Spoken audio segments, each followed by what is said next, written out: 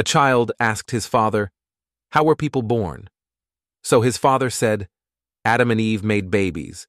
Then their babies became adults and made babies, and so on. The child then went to his mother, asked her the same question, and she told him, We were monkeys. Then we evolved to become like we are now. The child ran back to his father and said, You lied to me. His father replied, No, your mom was talking about her side of the family.